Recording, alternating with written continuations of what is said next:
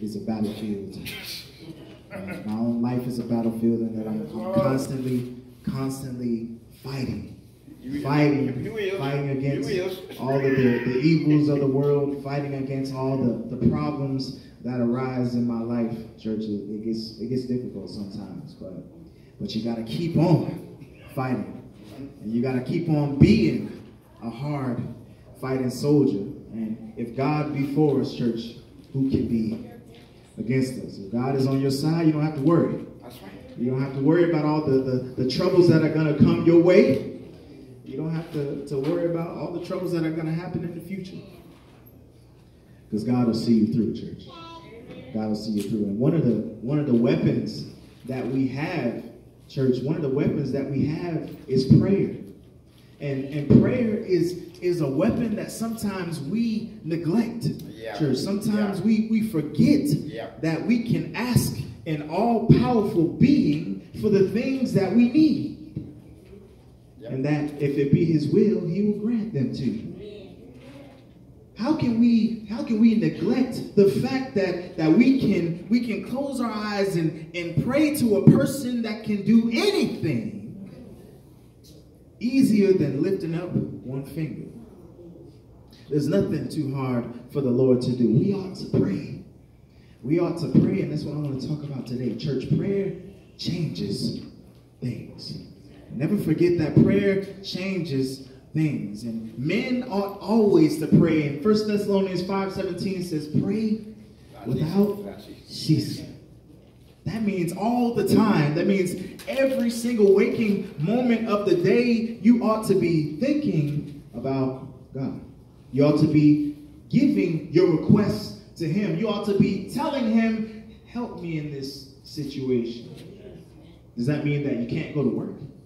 You, it says pray without ceasing, so I gotta pray all day. That means I, I can't do anything but pray. No, no, what that means is, is that your mind is essentially focused on talking to God all the time. Doesn't matter what you're doing, you can be talking to the Lord. That mindset of, of keeping God first is what keeps us on the straight and narrow. Let's look at uh, what the scripture reading from today, uh, and starting at Philippians chapter 4 and at verse 6. Philippians chapter 4 and verse 6. And it says, Be careful for nothing. Or it says, Be anxious for nothing. But in everything, by prayer and supplication, with thanksgiving, let your requests be made known unto God. Now, now let's we, we really got to look at this because it says by prayer and supplication with thanksgiving, let your requests be made known unto God. See, see, this is why every single time you hear me pray, I always thank God first before I ask for anything. I always thank God first for what he's given me. I thank God first for, for where he's brought me from. I thank God first for, for waking me up in the morning. I thank God first for keeping me safe on yesterday before I ask him for anything. It says supplication with thanksgiving. What does that what does that mean, church? It means be thankful for what you got before you ask for something else. With supplication, with thanksgiving, let your requests be made known unto God. So, so God wants to hear from us. You know, I used to be really foolish with my with my prayer life, church. I used to think that that I was bothering God. When I when I would pray all the time and and, and ask him for everything, I, I used to I used to, to to think that I was bothering God, like I was a pest. But but the scripture clearly says, let your requests be made known unto God. God wants to hear from you. he wants you to be praying. Why did he say pray without ceasing if he gets tired of you praying to him? Come on, preacher. I was foolish in my thinking. I needed to read the scriptures again. And I did.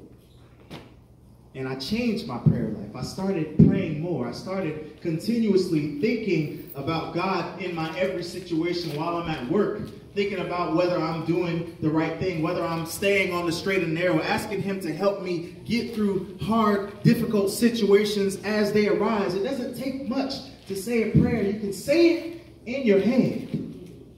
You can say it in your head. You don't have to close your eyes and get on your knees. You don't have to, to, to fold your hands. You could just say a prayer in your head quickly. That's what he's asking for when he says pray without ceasing. Now let's look at, at um, 1 Samuel chapter 1. Now here's an example of a woman praying to God. And here's an example of her getting what she desired. And also an example of, of how we can pray today. In 1 Samuel chapter 1, starting at verse 1, it says, Now there was a certain man of Ramathaim, Zophim, of Mount Ephraim, and his name was Elkanah, the son of Jeroham, the son of Elihu, the son of Tohu, the son of Zuph, and Ephrathite. And he had two wives. But, but Hannah had no children. And this man went up out of his city yearly to worship and to sacrifice unto the Lord of hosts in Shiloh. And the two sons of Eli, Hophni and Phinehas, the priests of the Lord, were there. And when the time was that Elkanah offered, he gave Peninnah, his wife, and to all her sons and her daughters portions. But unto Hannah he gave a worthy portion, for he loved Hannah. But the Lord had shut up her womb. She couldn't have any children. And that's a sad thing. It's a sad thing. I know there's some people going through that today. They're trying to have kids and, and they can't. That's why, that's why I thank God for the kids that I have. Thank God for the kids that I have, because some people can't have children. Says, But the Lord shut up her womb, and her adversary also provoked her sore, for to make her fret, because the Lord had shut up her womb. And, and as he did so year by year, when she went up to the house of the Lord, so Hannah to the house of the Lord. So she provoked her, therefore wept and did not eat. And then said Elkanah, her husband, to her, Hannah, why weepest thou? And why eatest thou not? And why is thy heart grieved? Am not I better to thee than ten sons? So Hannah rose up after they had eaten in Shiloh, and after they had drunk. Now Eli the priest sat upon a seat by a post of the temple of the Lord. And she and she was in bitterness of soul and prayed unto the Lord and wept sore.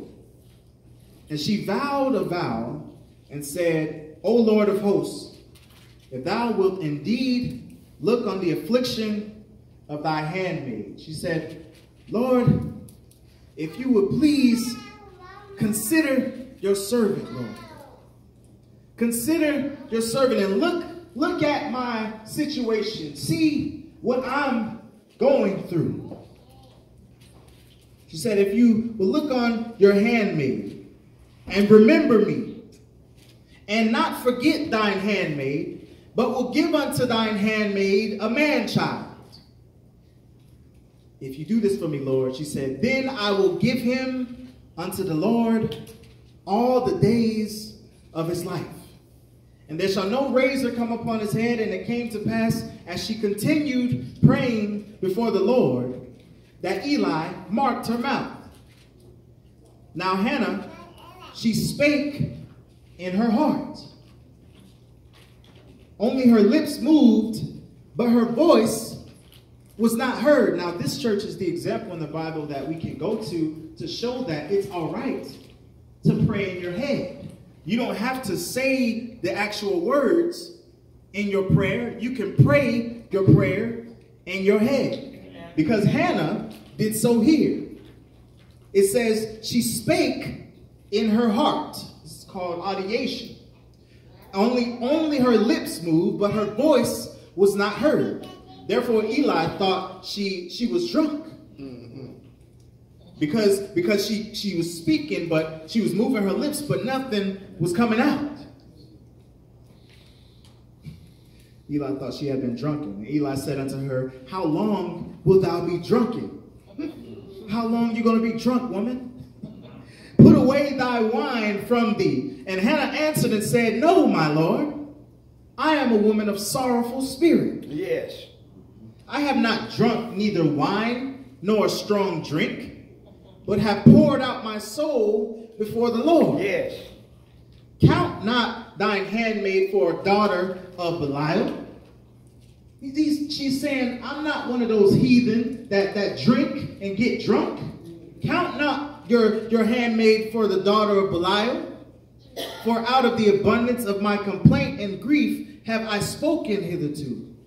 Then Eli answered and said, Go in peace, and the God of Israel grant thee thy petition that thou hast asked of him. And she said, Let thine handmaid find grace in thy sight. So the woman went her way and did eat, and her countenance was no more sad. And they rose up in the morning early and worshipped before the Lord, and returned and came to their house to Ramah. And Elkanah knew Hannah his wife. And the Lord remembered her. Mm-hmm. Hannah said, Lord, remember me. And God remembered her. And wherefore it came to pass when the time was come about after Hannah had conceived, Yes. and she bare a son. God answered Hannah's prayer. And they called his name Samuel, saying, Because I have asked him of the Lord. See, we have to tell the Lord what we want. The Bible says, Ask, and it shall be given unto you. Seek, and you shall find. Knock, and the door will open unto you. We have to go seeking for the things that we want. We have to do something about it. Closed mouths don't get fed, church. Closed mouths don't get fed. That goes for prayer. That goes for life in general. If you don't ask, why would somebody help you? If you don't ask for help, why would they help you?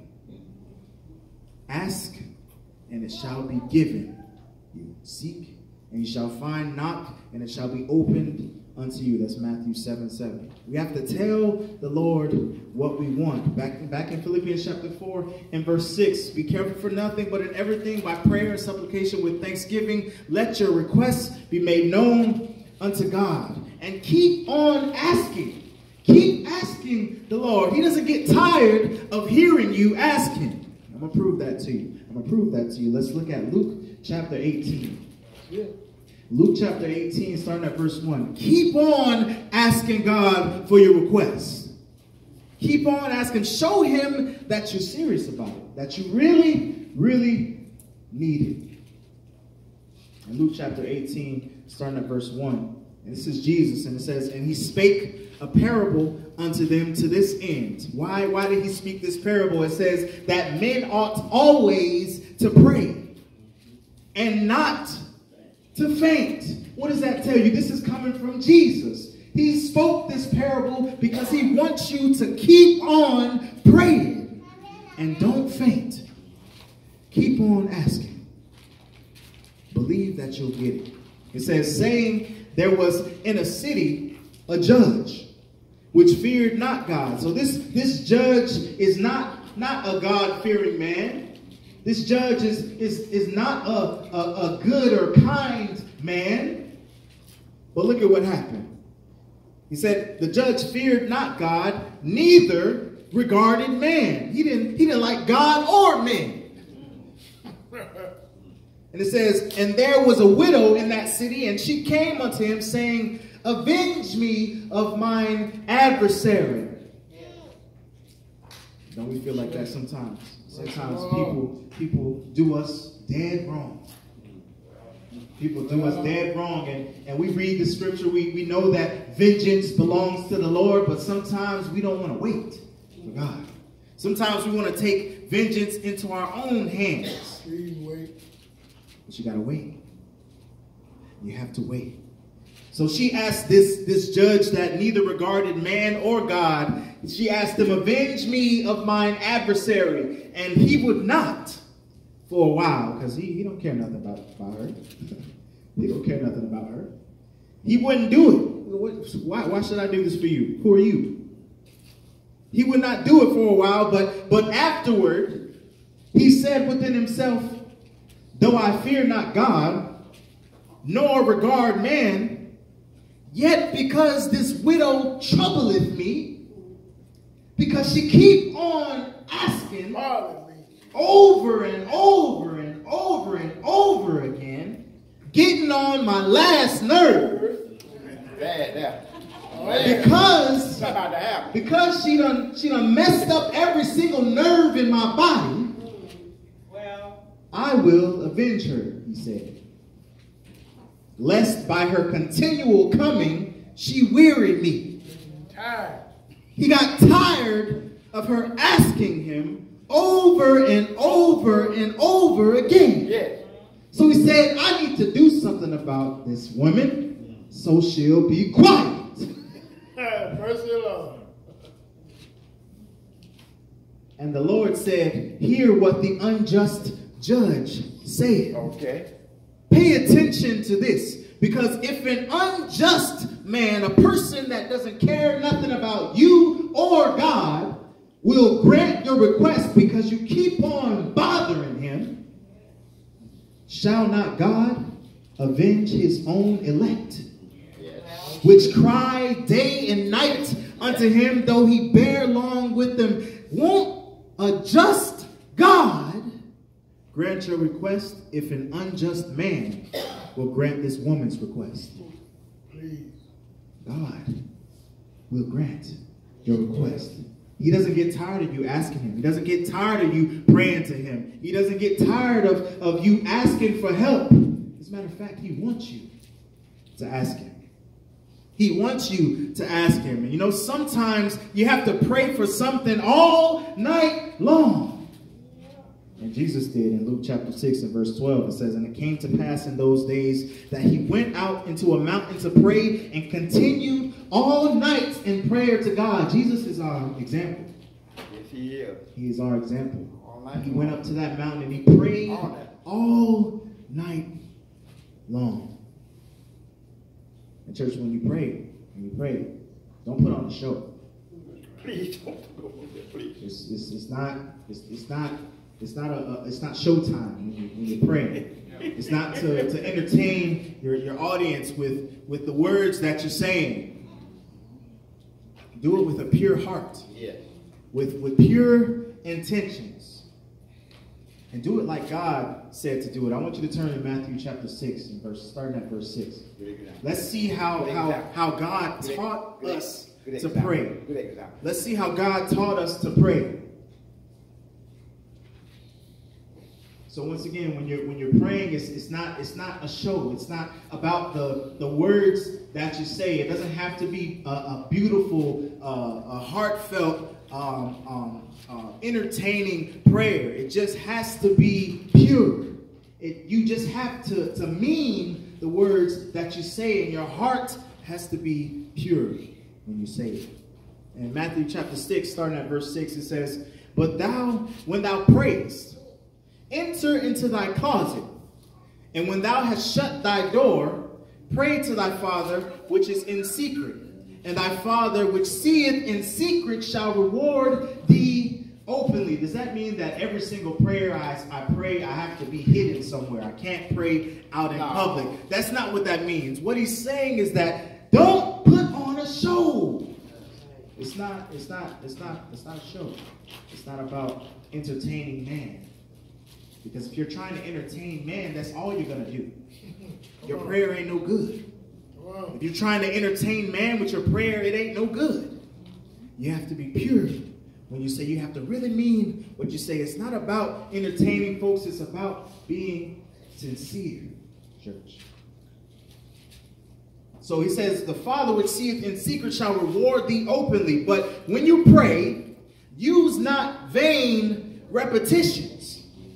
Now, now that's that's vain repetitions because sometimes when you're praying all night about something, you might keep on saying the same thing over and over again. But what he's talking about is the vain repetitions that the Pharisees used to do. They used to go out in the streets and, and, and pray in front of everybody and say all these things over and over again, trying to put on a show for the people. And it's sad because they're doing that in the churches today. Putting on a show.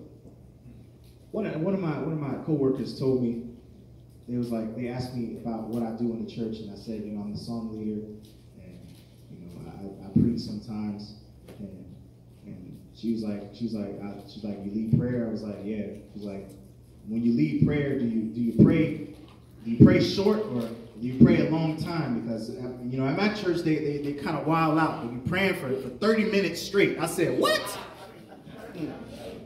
30 minutes? I'll be sleeping by that time. 30 minutes. I ain't lying. Praying for 30 minutes. I said, I said, no, no, no, I don't. We, we like to keep things decent and in order. Yes. If, if there's a lot of requests, then I try to I try to pray for every single request that was made. And that might take a little longer, but I try to keep it quick and, and to the point. 30 minutes. 30 minutes of praying. Lord have mercy. Lord have mercy. And so that's what he was talking about with, with vain repetitions, as the heathen do. For they think that they shall be heard for their much speaking. Be not therefore like unto them, for your Father knoweth what things ye have need of before you ask them. See, God already knows what you need. And after this manner, therefore pray ye, Our Father, Yes. which art in heaven. So the first thing you have to do is you have to acknowledge that you're speaking to God the Father. So that's why you always open your prayer with Father God or Dear Heavenly Father or um, to the to the Most High, to the Most High God. You can call him by any of his any of his names, but you have to acknowledge that you're speaking to God, our Father which art in heaven, the Father, the God of Abraham, Isaac, and Jacob um, Emmanuel, uh, Yahweh, Yahweh, Jehovah. All of these are names that are that God is called in the Bible, not not man-made names. In the Bible, God has called these things. So we open up our prayer by acknowledging who we're speaking to. Our Father, which art in heaven, hallowed be thy name. Acknowledge who you're speaking to and start off by praising his name. Start off by telling God, you're amazing. Open up your prayer saying who you're speaking to and then give him the praise that he's always due. Hallowed be thy name, thy kingdom come. The kingdom has come already. The church has been established. Thy kingdom spread. So first we acknowledge who we're talking to. Then we give him praise. Then we talk about the thing that's most important, which is the spread of the gospel. Thy kingdom spread. Thy will be done in earth as it is in heaven. And after you do that, then you should start with your request. Give us this day our daily bread, and forgive us our debts as we forgive our debtors. Always praying and asking the Lord for, to forgive you for your sins, because sometimes you can sin and you don't even know. it. Yes. Always asking God to forgive us for our sins as we forgive our debtors. And lead us not into temptation lord. Guide us direct our steps that we that we stay away from the devil's snares that we avoid all of satan's temptations that we that we are on the path of righteousness. Lead us not into temptation but deliver us from evil. Make our life easier if it be your will lord. For thine is the kingdom And what do you end with? For thine is the kingdom, praise, the power, and the glory forever. Amen. And you have to believe that God will grant your request. When you pray, you have to believe. If you don't believe that God will grant your request, it, it, it, ain't, it ain't going to do you no good. In Matthew chapter 21 and verse 21, it says, Jesus answered and said unto them, Verily I say unto you, if you have faith and doubt not, ye shall not only do this which is done to the fig tree, but also if ye shall say unto this mountain, Be thou removed, and be thou cast into the sea, it shall be done. And all things whatsoever ye ask in prayer, believe in. Whatever you ask in prayer, believe in. Having faith, you'll receive. Sometimes you just don't know what to say. So sometimes I just say, Lord have mercy. When I'm, when I'm on my knees and, and I don't know what to say and I'm praying at night, I, I just say, Lord have mercy upon me. Help me. And that's all right because in Romans chapter 8, verse 26, it says, Likewise, the Spirit also helpeth our infirmities, for we know not what we should pray for as we ought. But the Spirit itself maketh intercession for us with groanings which cannot be uttered. And he that searcheth the hearts knoweth what is the mind of the Spirit, because he maketh intercession, intercession for the saints according to the will of God. Sometimes we don't know what to say, but the Spirit the Spirit utters what we need for us. Amen. Utters what we need. So it's all right if you if you don't know what to say. Just just say, just say, Lord, help me. Lord, have mercy. The Spirit will take care of the rest for you. Yes, yes, He will. And and First Timothy chapter two verse eight it says, "I will therefore that men pray everywhere, lifting up holy hands without wrath and doubting." Once again, without doubting, church, without your without the, the doubt that we have, we have to believe that God will give us those things that we need. And also, this scripture teaches us a lot. He says, I will therefore that men Now, in the Bible, when it's talking about mankind, he'll say man in a singular form, which, which is also used as a plural form, used, uh, talking about mankind. But when he says men, he's talking about males specifically. So leading prayer, that's why that's why men ought to lead prayer in the church. Because First Timothy chapter 2 says, I will therefore that men pray everywhere, lifting up holy hands. And it's not just any man. In order to have holy hands, you have to be a member of the church. I will therefore that men pray, lifting up holy hands without wrath and doubting. So men lead prayer in the church. I know some of y'all were, were at uh, Sister Anderson's funeral. And uh, we were there and yeah, in, a, yeah, in a in a place where where denominational worship is is held and and uh, the, the the lady there, nice lady, I, I shook her hand after. Um, she was she was very kind but she, she led prayer in yes, front of our congregation. Yes, she did. Yes, she did. And I'm sorry, church, but I sat there with my eyes open. Me too.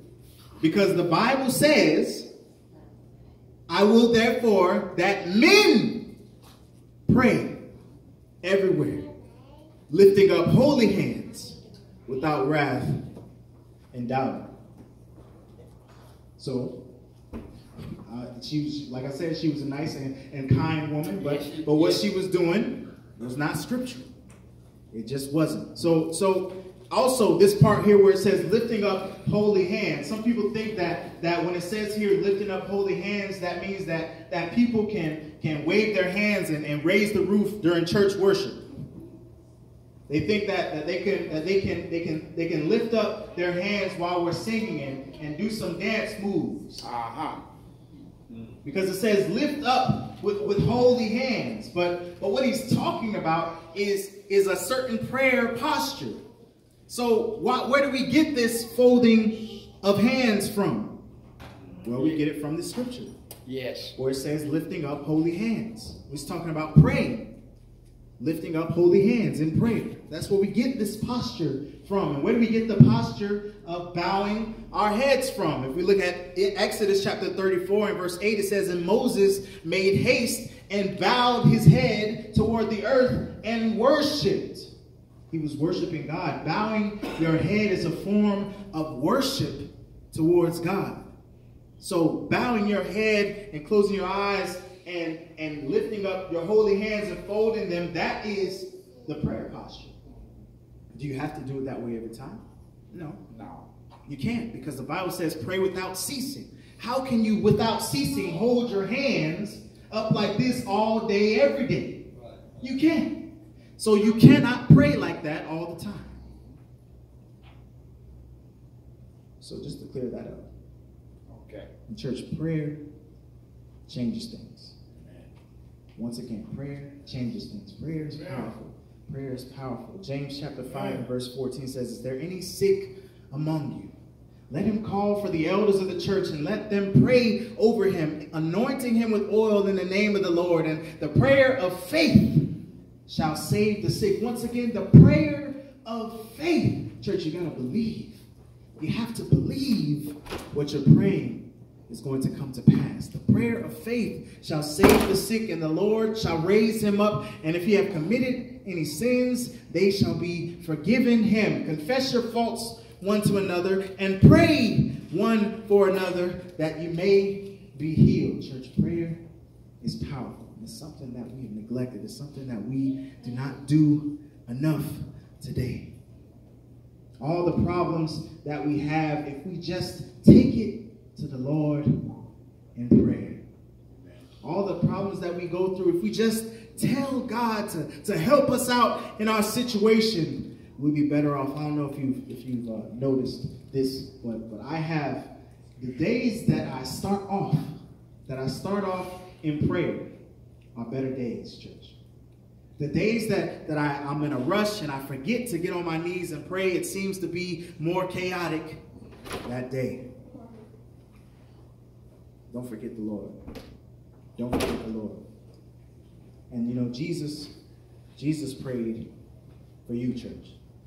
Jesus prayed for you in, in John chapter 17. Yes. In John chapter 17, Jesus prayed for you. That entire chapter, yes. we don't have time to go to yes. it today, but that entire chapter, chapter, he prayed for you. And his prayer was answered. Oh, yeah. Now, church, when you pray, sometimes your prayer might be hindered. It might not get to where it's going because of, of something that's going on in your life. Because we all know that the Lord heareth not sinners. In John chapter 9, verse 31, it says, Now we know that God heareth not sinners, but if any man be a worshiper of God and doeth his will, him he heareth. In Proverbs chapter 28 and verse 9, it says, He that turneth away his ear from hearing the law, even his prayer shall be an abomination. So if you turn away from God, even your prayer can be an abomination.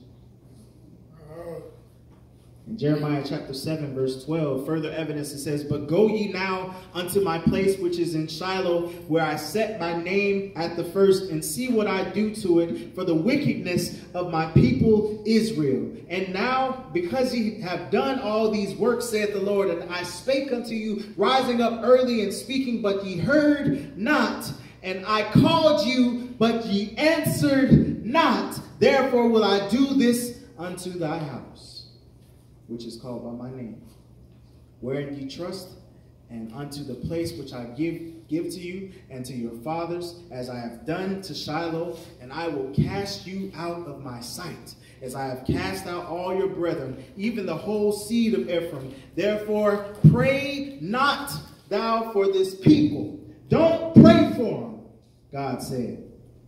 Neither lift up cry nor prayer for them neither make intercession to me, for I will not hear thee. God told these people, you done messed up. When I called for you, when I called for you to come out of your sinful ways and you ignored me, when I tried to, to get you out of your situation, you ignored me. So now when you call unto me, I'm going to ignore you. I'm going to know you too. He said, Don't pray for these people. Don't even lift up a cry for them. Don't make intercession for them, for I will not hear you. That's, that's a shame there. Oh boy. Now understand that it's not that God doesn't hear, because God hears everything. But what's happening is that their sin separates them from God. In Isaiah chapter 59 and verse 1, it says, Behold, the Lord's hand is not shortened that it cannot save, neither his ear heavy that it cannot hear. God hears everything. But what happens is, is your iniquities have separated between you and your God, and your sins have hid his face from you that he will not hear. In, in Psalm chapter 66 and verse 17, it says, I cried unto him with my mouth, and he was extolled with my tongue. If I regard iniquity in my heart, the Lord will not hear me. The psalmist said, If I regard iniquity in my heart, the Lord will not hear me. But verily God hath heard me. He hath attended to the voice of my prayer. Blessed be God, which hath not turned away my prayer, nor his mercy from me. See, what happens is, is that God hears your prayer. But if there is iniquity that is involved, it separates you from him and he turns your prayer away. That's what it says here in Psalms. Blessed be God, which hath not turned away my prayer. Meaning that in the earlier part of the verse, he said, if you have iniquity in your heart, then you'll turn it away. So sometimes our prayers are, are hindered by our own sin. And that's why Jesus instructed us in the Lord's Prayer to say, Forgive us our debts as we forgive our debtors. Always ask the Lord for forgiveness of your sins because sometimes you can sin and you don't even realize that you did. So ask the Lord for forgiveness. Ask the Lord from, for forgiveness. In Proverbs chapter 15 and verse 29, it says, The Lord is far from the wicked, but he heareth the prayer of the righteous. Make sure that you're right with God. Believe what you're praying, church. Don't grow weary of praying. Pray without ceasing. Keep on praying to God. Keep on asking Him for what it is that you need. And He will grant your request, church. Church, this lesson is yours. If there's, if there's anybody here today that is not a member of the Lord's church, you can be today. And among,